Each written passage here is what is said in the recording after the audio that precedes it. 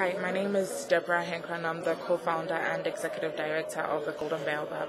I'd like to address Nadine Hack's comments on One Year, One Change about how intergenerational dialogue among emerging leaders and elder leaders is needed in Africa and everywhere everywhere else in the world. I totally agree. I think change can only um, can only come about um, as a collaboration between, especially in Africa, the older leaders and the younger generation, where um, the younger generation can can can bring the zeal and the passion that they have um, for seeing a better Africa, and, and couple that with the experience and wisdom of, of, of, the older generation, and, and put that together to to bring to bring impactful change. I think if young people are, um, you know, I, I, I think it absolutely the future of Africa belongs to young people, and young people are dictating what the terms of change are.